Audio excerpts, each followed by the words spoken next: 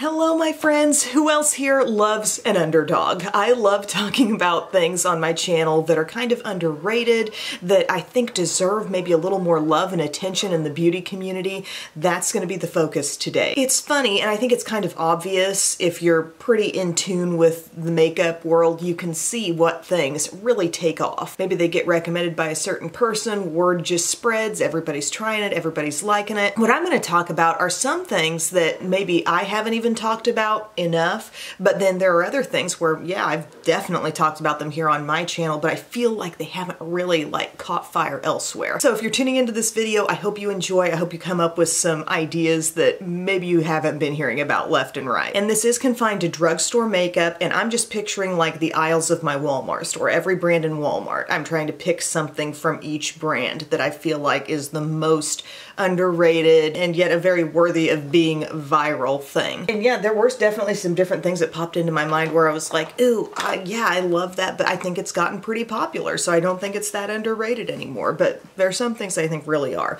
Starting off with primer and hard candy, the Sheer Envy Hydrating Primer. And yes, I'm going to be applying all of these as we go. This has the 12 hour makeup grip. This is the thing where like I keep wanting to shout this one from the rooftops because even though the e.l.f. Power Grip Primer primer is good and I think it does work. This goes on so much more smoothly and it does the same work, does the same job. It's still a gripping primer, but it doesn't feel nearly as sticky on the skin and it just glides on with ease. And I've used this so much, I think this might be my second tube of it. I mean, it is a legitimately great primer. It adds a little hydration to the skin. It might even add a little more hydration than the e.l.f. does, but I do also feel it plays a role in the extended wear of makeup. So I would definitely look into this one if you're needing a new primer. I don't know why I feel like this one hasn't been able to really knock out the e.l.f. I guess price-wise they're not that far off, but this one is even cheaper. Foundation today is gonna be one from Maybelline, and I feel like especially with the surge of popularity of stick and cream products in other areas of the face, you know, like blushes, bronzers, etc.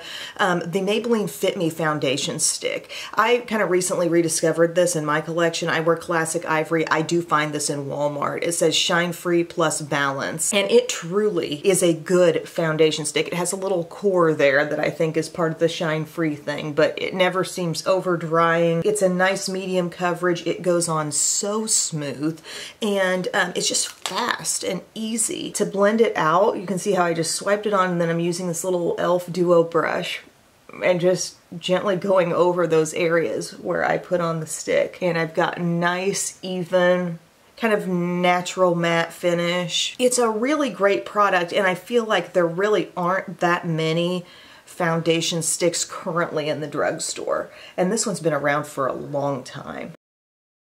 But yeah, it deserves more hype. And if you're like a beginner makeup person, I think this would be awesome because you're not really fussing with pumps of product and patching it around and then blending it in. You're literally just drawing it on the skin and it is kind of buildable. I'm building a little bit here around the nose.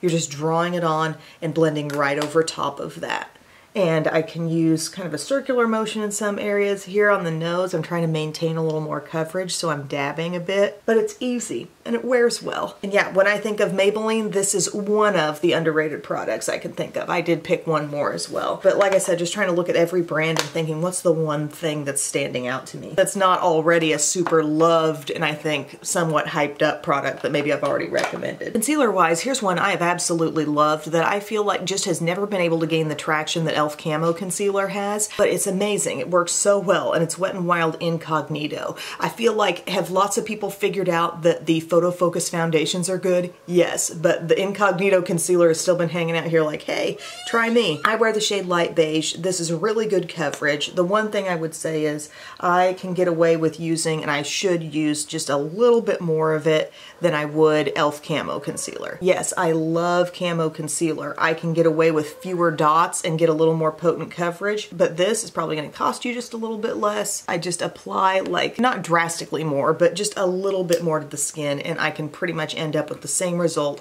and same staying power as Camo Concealer. So pull in a brush, pull in a sponge. Today I'm just using a brush and I move that product around a little bit with the smaller side You can see the shade is just perfect and then you can bop over it with the larger side so as to not overblend and take away too much coverage, but end result is really good coverage here with this. It wears well. If you keep up with my videos regularly, you have seen this combine and work so well on top of various foundations. But I don't know, you know, for all I know, maybe this concealer has a whole little like uh, Facebook fan club. But to me, given the content I watch, I never see this one brought up by anyone. For powder, um, this recommendation is going to come from Revlon and it's the Revlon Color Stay Pressed Powder. Actually a really good pressed powder option. It can definitely extend the wear of your makeup. I have this in light to medium. It has a really nice creaminess to it and I think it looks natural on the skin. This shade can kind of function to set my whole face only set my under eye, whatever I'm really looking for. Um, if you wanted this to function like more of a powder foundation, it kind of could. You know, it adds a little coverage to your look. You know, it does have that softness that reminds me of like the L'Oreal Infallible a little bit or a L'Oreal True Match. I love those, but I feel like they've gotten a lot more attention. And so here, I've taken this, I've set my under eye, and I don't look too dull or anything, and I'm also just using it to set my T-zone. Revlon Color Stay Pressed Powder powder. This is also a powder I feel like I can have in my purse too because it can touch up anywhere. It's not like it's too dark for the under eye, like I said, or too light for the rest of my face. It's just a good middle ground, that light to medium shade, and it comes with a puff and mirror. Next recommendation comes to us from Rimmel and it's the natural bronzer. There are a lot of times where I see a higher priced bronzer recommended like the L'Oreal Infallible. Everyone loves that stuff and I'm thinking this is $2 and change. It's the natural bronzer. Um, Rimmel Stay Matte Pressed Powder by the way, I feel like that's kind of gained a little bit more of a foothold. I hear more people talking about that but the natural bronzer is like the cheapest bronzer in the drugstore and really good. I love the shade called Sun Bronze. And you'll see here, powder bronzer, you know, if you're wanting a powder bronzer, I know a lot of people like to use sticks and creams and that's kind of a trend, but this goes on easy. Really, I feel like everything I've applied so far, an underlying theme has been ease. User-friendly. Products you could recommend to a beginner and I think they could make them work. Soft little contour. This isn't like extreme, but it's certainly like perking up the skin tone and it's very buildable. As you can see, I just built it right there. And uh, what's the finish on this? It's overall, it's a matte bronzer. And there we go, skin's got some color. It was easy, it was quick. Packaging on this has always been kind of like, meh, you're just taking that cap and pressing it down. And if you get a little crack in your cap, it won't go on as well. But as far as the meat and potatoes of this product, it's great. When we're talking about blush, I'm gonna shout out the thing that I don't hear anyone else recommending and I feel like I could not shout this one louder from the rooftops. CoverGirl Instant Cheekbones. Yes, this is where it's at for blush. These blushes deserve so much more hype. Um, they come with three colors. There's always a highlighter in there and the highlight is beautiful and they were putting that highlighter in before highlighter was cool and a part of every brand, you know? So I've got the shade Refined Rose here. I love Sophisticated Sable. There's a plum one. There's a peach one. Just like check it out. It, this one's the more pinky toned option, I guess, this Refined Rose. And the blushes are great. They're like the formula of the Cheekers blushes, which are awesome, but you're just getting a little something extra here. And everybody can work with these two shades and adjust and, you know, make the blush turn out a little bit deeper or whatever you need. So I'm starting out with that. Hi, baby. I'm starting out with that first initial shade, but then we say, okay, let's do a little more punch, a little more pigment and sometimes I'll go slightly lower on the cheek with that extra shade or a little further back, but easily I've built up the color just a little bit. I'll never understand why these don't get more buzz. And maybe the packaging isn't like super updated and they put the little brush in there that you're not gonna use. So what? It's a great product. I feel like I'm gonna come off kind of annoyed in this video because I just don't get why certain things don't get buzzed about on social media as much. Maybe they're fully popular among the makeup buying public, but just the circles I'm in talking about makeup that's not being talked about. Go over to the highlight. Okay, these are gorgeous. Watch. Let's be in focus a beautiful brightened up cheek. It's a two-in-one product, gang. Like, get it. Look at that. That is so sneaky. You can't see any trail of highlighter glitter or anything. they made a fully advanced, very luxury level highlighter in these little trios that's just pearlescent and lovely. It needs buzz.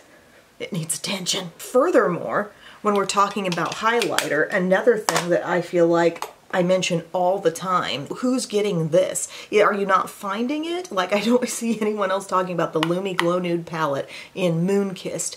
These are amazing shades and I like them for so many of the same reasons I just mentioned liking that highlighter. No flaky trail. They do not swatch well. Now they're firm and you'll see maybe a little trace on your finger and be like, I'm not expecting much, you know? But you put them on your cheeks and they're just stunning. All the shades can be worked with. This one I'll sometimes sometimes even pop on like as a little eyeshadow or something or a light dusting all over.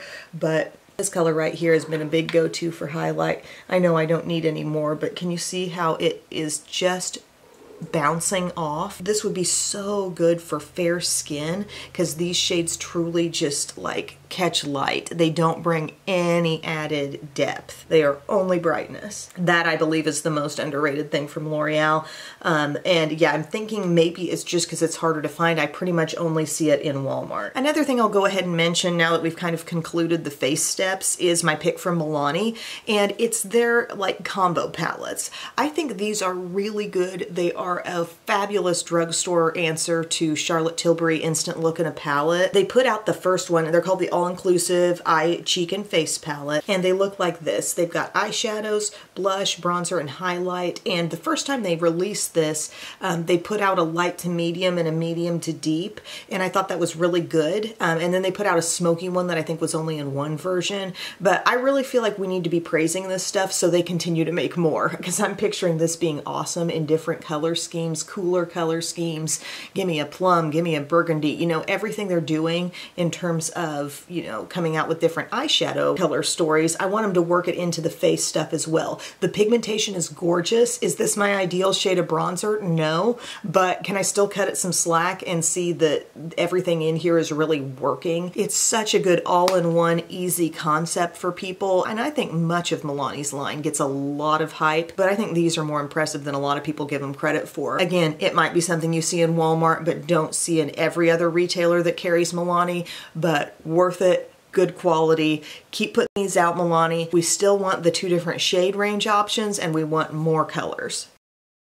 My voice has gone hoarse from making demands. When I was formulating my list, which by the way, I did this while my girls were in dance, their lovely dance class, I sat and I just went brand by brand and I thought of the things. I had a co winner with the Fit Me for Maybelline. It was the Brow Fast Sculpt, which is one of the best brow gels you can possibly get. It's tinted and it has that special brush where some of the bristles are short, some of the bristles are long, short bristles apply, longer bristles rake through. It's a brilliant product. So I'm gonna use that in my brows today. I wear it in the, uh, is it medium brown?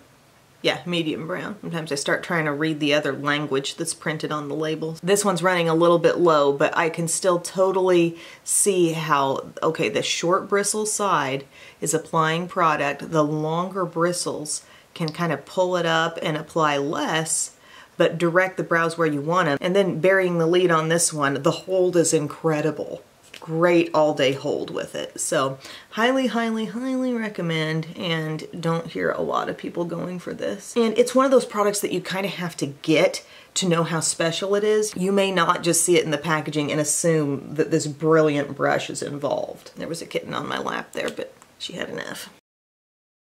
You ever have a song going through your head and it like works its way into your dreams? That'll happen to me. Like last song I hear on the radio getting home from somewhere sticks with me and I'm like feel like I'm hearing it all night or I randomly wake up in the night and I'm thinking about that song. Like what's up with that? So this feels like a pretty minor brow to me because I'm usually filling in with pencils and whatnot. Like it, it feels like so much less work but it's still getting filled in well and I'm getting that hold and that fluff. Big fan of that. Now I am going to use some eyeshadow primer, but this I do not any longer feel it is underrated. For a while maybe I did, but I think this is getting the love it deserves, the Milani eyeshadow primer. I get comments in every couple days where I see somebody saying, I tried that and it made all the difference. I do feel like people are catching on that this is the elite eyeshadow primer that they need, just a small amount between two fingers. Yes, kitten, you were just up here. You didn't want to be here. Been making my own tacos. They're so good, just so easy, and you have everything available. Like you make up the taco meat, put it in the fridge. I do like a black bean and corn mixture, put that in the fridge. Then you got some pico de gallo, that gives you that tomato and that fresh flavor. Some cheese, you pop them in the microwave real quick just to get them a little melty before you put the tomatoes and stuff on. So good so good. I've just really got a taste for that right now. For eyeshadow, this is gonna be e.l.f.'s underrated thing. This is really good and this has been off of my radar for a while. Like I haven't thought about this in some time, but as I really went through everything I could think about from this line, besides the tweezers, the two or three dollar tweezers that are the best I own, the Mad for Matte palette, this can still be obtained in some retailers where e.l.f. is sold and also on e.l.f.'s own website. This beautiful palette of basics, so good. Do you remember when these were new? This was a fan favorite favorite, but it's dwindled, you know? And I think in the place where people are at right now with eyeshadow, I'm seeing a lot more like natural looks, barely there looks, a very low fuss vibe to things. I feel like this fits that so well. So that's what we're gonna use today. It's a very well balanced palette. We have dark, we have medium, we have light. Um, I'm gonna go into this little uh, tan brown color. And yeah, I've had my palette for a good long while. And they put out a version 2 that is not still available anymore and it had like some kind of sunsetty colors. It was so pretty. But this one, just talking basics, I mean, look at that pigment. They're soft, they're phenomenal quality. And yeah, I felt like as I looked through e.l.f.'s website, I'm thinking, gosh, a lot of this stuff does get a ton of hype. When e.l.f. puts out new stuff, I feel people really take note.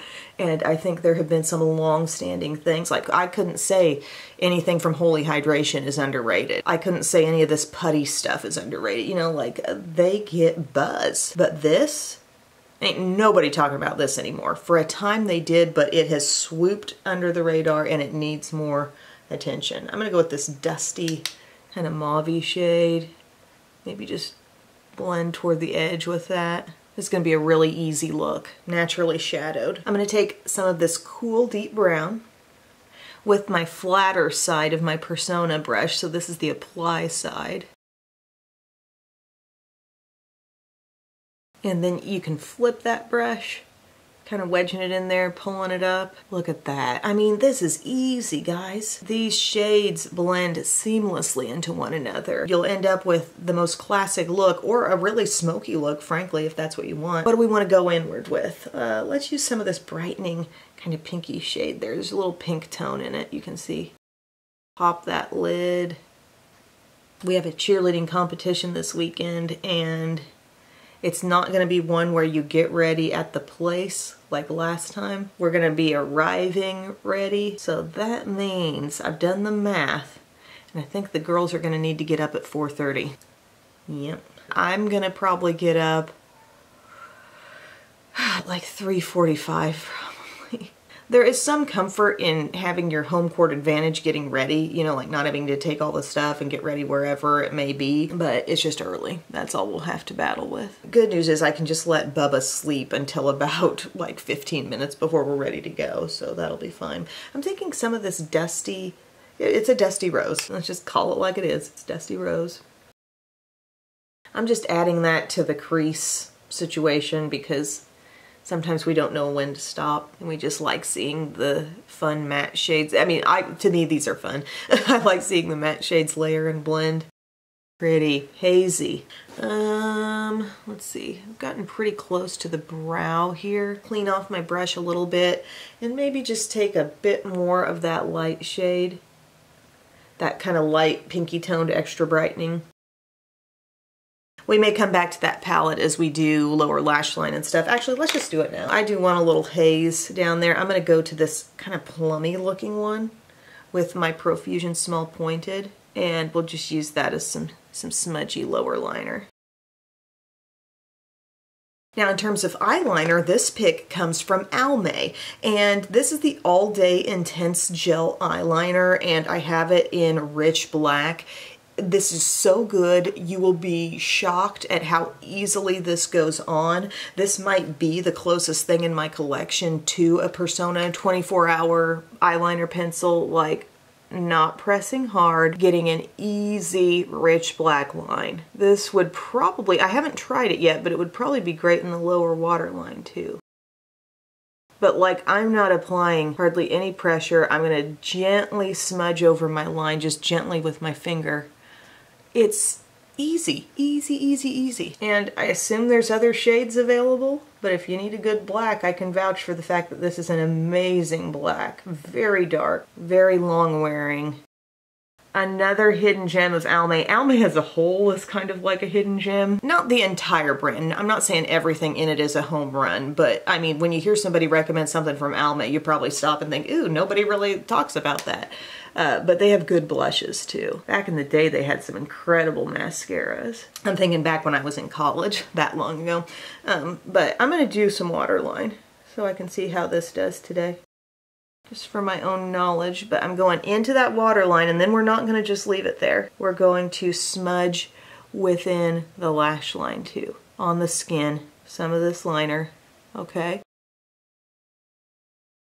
And then see how I'm just using my pinky finger to soften that out a little bit. We may add a little more shadow as well, but never just leave it on the inner rim. You want something, some of that same level of darkness coming down in between those lashes. Back with the dark shade here.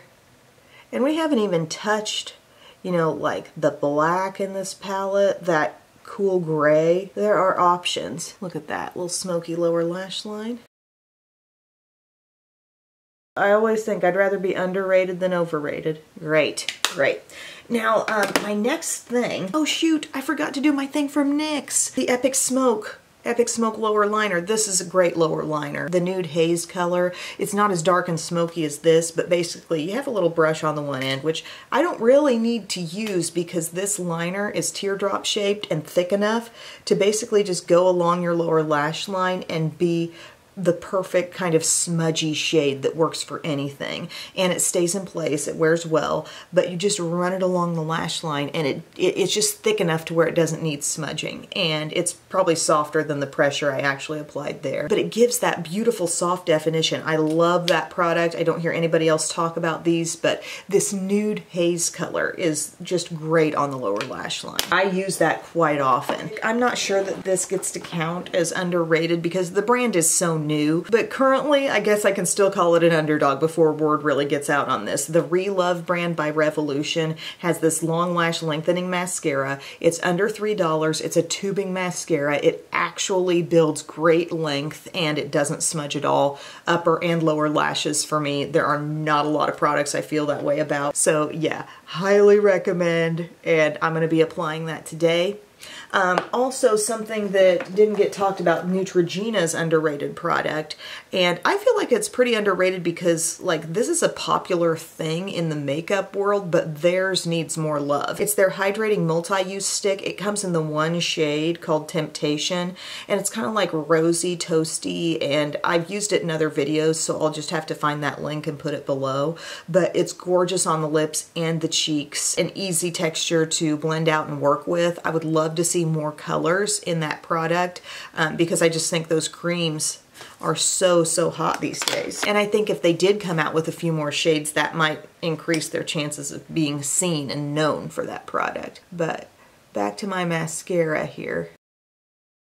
Does it take a little bit more time to build compared to like Lash Paradise? Probably a little bit more, but it can do some major length. It really can. And it doesn't stick my lashes together. It's not too like mega wet and creamy. And then by tubing, in case you haven't heard me address this before, um, it's gonna come off like little rubbery bits when you remove your makeup. It's gonna like ball up and just release from the lashes in bits as opposed to melting down and smearing. It's incapable of turning to a smeary place and that's why, you know, we like mascaras of that type on our lower lashes because they can't go anywhere until you start washing your face. And um, I said this in my Revolution video, but you want to just keep building on the eye that you're on. It dries pretty quick, so going back and forth, like you won't have as much building capability if you do that. So just stick with it while it's got some moisture still available and it can keep going and going. Look at that. That's really good for my eyes. And just the price point, you know? You find a good mascara at under $3. What else can compete? I mean, Milani put out their liquid extensions, whatever, to be like Thrive. It's the same color as Thrive. And you know that that's like two to three times the cost of this. Uh, definitely three times.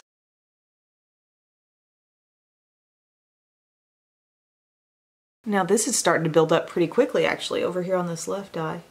I am making a little bit of a mess though, which is not really the brush's fault because the brush is not huge. It's a classic spiraled around brush. All other drugstore mascaras should be scared. Oh, and by the way, I meant to mention as I was doing my eye makeup, the Profusion brushes. I think that's probably the most underrated thing from their line. I think a lot of their palettes have gained attention. You know, they've gotten some love, but the brushes, I think the toughest thing there is just the fact that they don't sell the brushes individually in store. You have a little of three of the eye brushes and it's not all three of the ones that I love most. But if you do get on their website, you can find them there. Um, they're really, really good quality eye brushes. I'm just trying to see if I can take care of some of these smudges. Does a tubing mascara flake away in the same way a traditional one does? I think it does not. That might be the con there of the tubing mascara. A dampened Q-tip can get it, but now I'll have to go in and repair the eyeshadow, do the lower lash. I'll be right back. I think we got it pretty well cleaned up. We also have some lower lash mascara on there, which always softens up that kind of smoky lower lash line. Now for lips, if you're thinking, what brand haven't we heard about yet? It's Physicians Formula. These Diamond Lip Plumpers, it's called Diamond Plumper Mineral Wear Lip Plumper, and I have the shade Brilliant Berry Diamond, but they have some other shades. These go on beautifully and these I think are a really nice drugstore response to a Buxom type product if you're not a huge fan of the Milani for whatever reason. Like these are beautiful in this shade in particular. Let me put it on. Plus they smell like vanilla and they do have some tingle that's not painful. The shine is beautiful. I think they feel a little bit thinner than Milani Keep It Full, but not greasy at all